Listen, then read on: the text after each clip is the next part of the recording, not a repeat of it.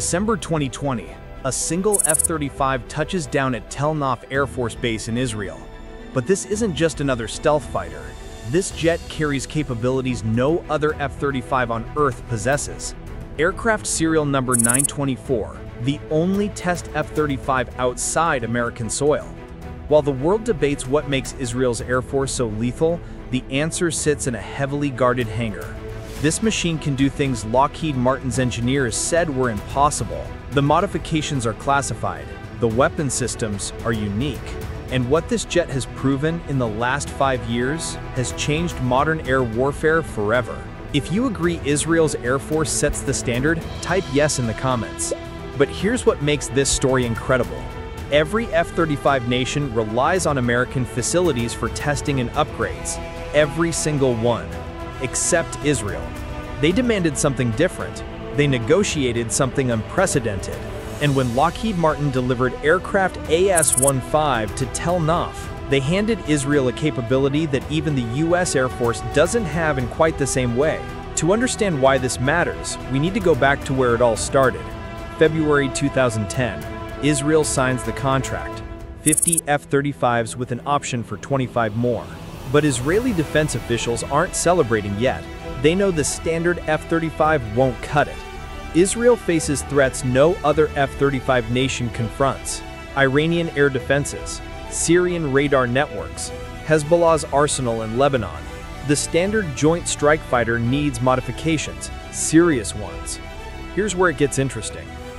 The F-35 program operates under strict rules. Every partner nation gets the same aircraft, same software, same weapons, same everything. The US maintains control over every line of code. When countries want changes, they submit requests to American facilities. They wait, they follow US timelines. Israel said no. Defense Minister negotiations went straight to the Pentagon. The message was clear. We'll buy your jets, we'll invest billions, but we need autonomy. We need our own modifications. We need to integrate our own systems and we need a dedicated test aircraft to make it happen. The Pentagon faced a choice, lose a $5 billion sale or grant unprecedented access. They chose option two, but with conditions. Israel could modify the F-35. They could install their own systems. They could even tinker with the software architecture, but they'd be on their own for those modifications. No US support for Israeli changes, no integration with American update cycles, Complete independence meant complete responsibility. Israel accepted immediately. November 2020, aircraft AS-15 arrives at Tel Nof, the 15th F-35I Adir off the production line. But this one's different.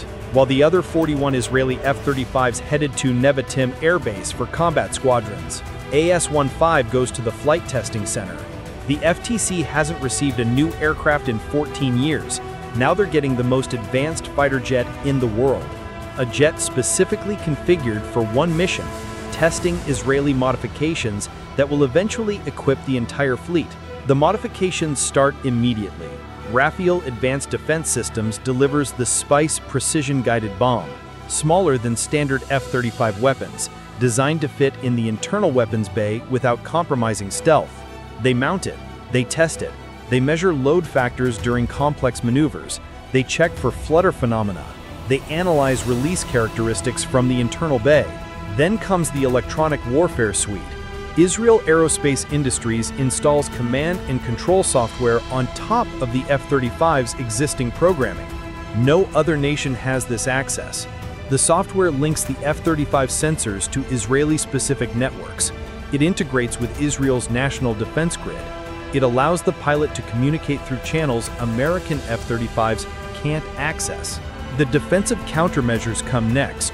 Israeli engineers know the electromagnetic signature of every Russian-made radar system in the Middle East.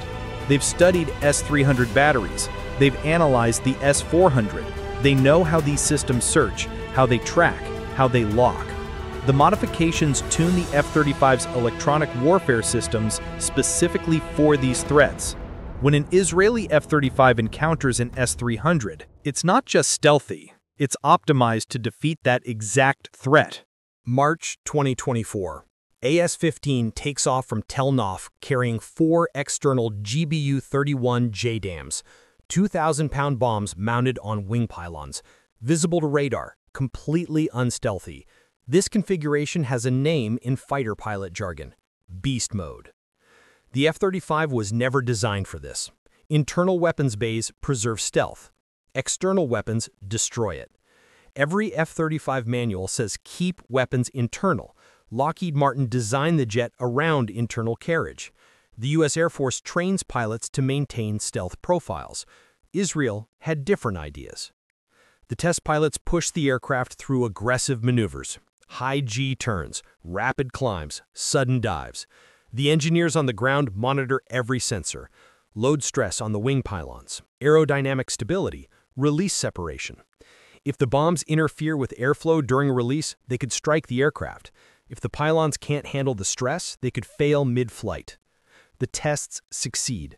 AS-15 proves the F-35I can carry external weapons safely, can maneuver with them effectively, can release them cleanly. Israel becomes the first and only nation to fly F-35s in beast mode during actual combat operations. Why does this matter? Stealth is incredible. But sometimes you need firepower more than you need stealth. Sometimes the air defenses are already destroyed. Sometimes you're hitting targets in permissive airspace. Sometimes you need to carry eight bombs instead of two. Beast mode gives Israeli pilots that choice. Need stealth? Use internal bays. Need firepower? Load external pylons. No other F-35 nation has certified this capability. May 2018. An Israeli F-35I strikes targets in Syria, the first combat use of the F-35 anywhere in the world. Not by the U.S. Marine Corps, not by the U.S. Air Force, by Israel. The missions continue. Lebanon, Syria, Gaza, Yemen, then Iran. October 2024. Israeli F-35s penetrate Iranian airspace. They strike air defense sites. They hit military facilities. They reach targets deep inside Iran and return safely. The Pentagon is watching. NATO is watching. China is watching. Russia is watching. The F-35 just proved it can operate in heavily defended airspace against advanced Russian air defense systems. The operations continue. By March 2025, Israeli F-35s have flown over 15,000 combat hours, thousands of missions, multiple theaters, zero losses. The jet performs exactly as advertised. Actually, it performs better because Israeli modifications give it advantages standard F-35s don't have. The biggest test comes in June 2025. Israel launches strikes against Iranian nuclear facilities, the most challenging F-35 missions ever flown. Iranian air defenses are formidable. S-300 batteries guard key sites. Early warning radars scan the approaches. Fighter interceptors stand ready. This is the scenario the F-35 was designed for, penetrating advanced air defenses, striking strategic targets, surviving in contested airspace. Israeli F-35s lead the strike packages. They go in first. Their sensors map the air defense network. They identify radar emitters. They locate missile batteries. They transmit targeting data to following aircraft. Some F-35s carry Storm Shadow cruise missiles. Others carry spice bombs. The missions last hours. Over 100 targets across Iran, military sites, nuclear facilities, ballistic missile factories. The F-35s return every single one. The missions accomplish their objectives. Iranian air defenses fail to down a single aircraft. This isn't luck. This is exactly what the F-35 and Israeli modifications were designed to achieve. Air power experts call these missions the most challenging F-35 operations ever conducted. They showcase capabilities other nations are still developing. They prove the jet can perform its design mission against peer-level threats and they demonstrate that Israeli modifications work exactly as intended. Here's what makes Israel's F-35 program unique. Most F-35 nations depend on the Autonomic Logistics Information System, ALIS, a global network maintained by Lockheed Martin. When an F-35 needs maintenance, ALIS provides diagnostics. When it needs parts, ALIS orders them. When it needs software updates, ALIS delivers them. The system is efficient, automated, cost-effective, unless missiles are falling on your country. Israeli Air Force officers looked at ALIS and saw a vulnerability. What if the network goes down? What if connections are disrupted? What if crisis response needs happen faster than the global system allows? They demanded autonomy. Israel operates its own sustainment system. Their technicians perform depot-level maintenance. They overhaul engines. They repair airframe components. They update software. When Israeli engineers develop a new modification, they test it on AS-15. When it works, they implement it across the fleet. No waiting for American approval, no submitting requests through ALIS. Complete independence. This matters more than it sounds. Modern warfare moves fast. Threats evolve. Adversaries adapt. The side that can respond faster has the advantage. Israel can modify their F-35s in weeks. Other nations need months or years working through U.S. channels. The arsenal nobody sees. AS-15's primary mission continues, testing weapons. The Israeli Air Force uses indigenous munitions on every aircraft. F-15s carry Rafael's Python missiles. F-16s carry IMI penetration bombs. The F-35I will do the same. But integrating new weapons into the F-35 is complicated. The software needs updating, the sensors need calibration, the release mechanisms need programming.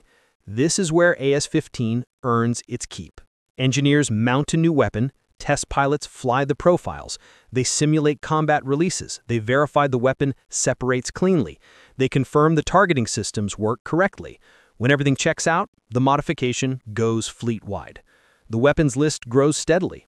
Rafael Spice Bomb, Python air-to-air -air missiles, Derby missiles redesigned for internal carriage, penetration bombs configured like standard Mark 82s but with enhanced capabilities.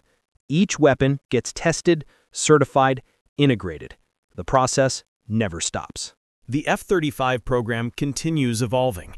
Technology Refresh 3 is coming. Block 4 upgrades are in development. New sensors, enhanced processors, improved weapons capacity. For most F-35 nations, these upgrades arrive when the U.S. implements them. For Israel, AS-15 tests them first. Israeli engineers evaluate how new capabilities integrate with existing modifications. They identify conflicts, they develop solutions, they ensure Israeli systems remain compatible. Range improvements matter most. Standard F-35s can't reach Iran from Israel without refueling. Israeli modifications extend that range. Exactly how remains classified. Conformal fuel tanks might be involved. More efficient flight profiles definitely are. Engine modifications possibly. Whatever the method, Israeli F-35s can now strike Iranian targets and return without aerial refueling. This changes the strategic equation. Iran knows Israeli F-35s can reach them. They know their air defenses struggled against these aircraft. They know each Israeli F-35 can carry precision weapons that can destroy hardened facilities. The deterrent effect is real. What this means AS-15 represents more than a test aircraft. It represents capability that money alone can't buy. Israel spent $5 billion on F-35s, but the real investment was negotiating autonomy, the ability to modify, the freedom to innovate, the independence to respond to threats on Israeli timelines. Other F-35 nations have excellent aircraft, but they're dependent on American systems, American timelines, American approval processes. Israel isn't. When threats emerge, Israeli engineers develop solutions. When adversaries adapt, Israeli modifications respond. The cycle operates independently of U.S. bureaucracy. This independence came at a cost. Israeli modified systems don't receive U.S. updates. When Lockheed Martin releases new software, it's designed for standard F-35s. Israeli aircraft need separate integration work. But Israel accepted this trade-off. They value responsiveness over standardization. The success of AS-15 and Israel's F-35 program sends messages worldwide. Small nations can negotiate capabilities previously reserved for superpowers. Indigenous defense industries can integrate with cutting-edge foreign systems, and stealth fighters can be adapted for regional threats without compromising their fundamental advantages. Countries watching include South Korea, they're developing their own stealth fighter. They're studying how Israel modified the F-35. Japan operates F-35s and wants greater autonomy. They're negotiating terms similar to what Israel achieved. The model works. Other nations want to follow it. For the American defense industry, Israel's program proves the F-35's adaptability. The aircraft can accommodate diverse modifications. It can integrate with different national systems. It can serve various operational requirements. This makes the F-35 more attractive to potential buyers who want both American technology and national independence. Aircraft AS-15 sits in its hangar at Tel Nof. It's flown hundreds of test missions. It's validated dozens of modifications. It's certified multiple weapon systems. The aircraft itself isn't classified. You can find photos online. But what it has proven remains partly secret. The full extent of Israeli modifications isn't public knowledge. The complete weapons list isn't published. The exact electronic warfare capabilities remain classified. What we know is enough. Israel operates the most independently capable F-35 fleet in the world. Their aircraft carry unique weapons. They run specialized software. They integrate with Israeli national defense networks and they've proven their worth in the most challenging combat environments modern fighter jets can face. AS-15 made this possible.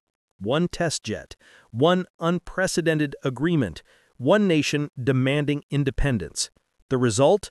Changed modern air power. The next time someone asks, what makes Israel's Air Force so effective? Remember AS-15. Remember the negotiations that made it possible. Remember the combat record it helped create.